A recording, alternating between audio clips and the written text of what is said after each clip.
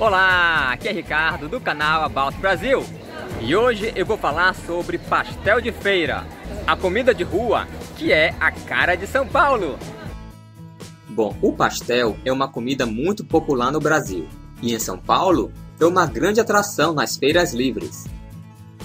As barracas de pastel ficam localizadas estrategicamente nas entradas das feiras.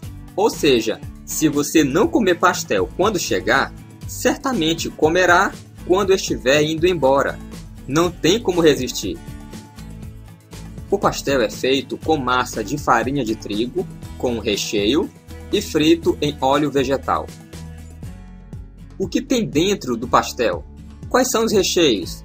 Os recheios mais populares são carne moída, mussarela, palmito, frango, camarão, você vai encontrar também alguns recheios bem diferentes, como por exemplo, chocolate, banana com canela, doce de leite e brócolis com queijo.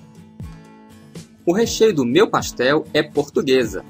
O recheio portuguesa tem palmito, ovo, presunto, ervilha e queijo. E para o pastel ficar mais gostoso, você ainda pode acrescentar alguns molhos, como ketchup, mostarda e maionese. Tem também os deliciosos molhos artesanais, como os de pimenta, vinagrete, etc. Eu já comi muito pastel em São Paulo, mas o pastel desta barraca é o meu preferido. O pastel de feira é uma comida tão popular em São Paulo que aqui na capital tem até concurso para escolher quem faz o melhor pastel. Bom pessoal, e este foi mais um vídeo sobre comida brasileira. Você já comeu pastel de feira? Deixe seu comentário.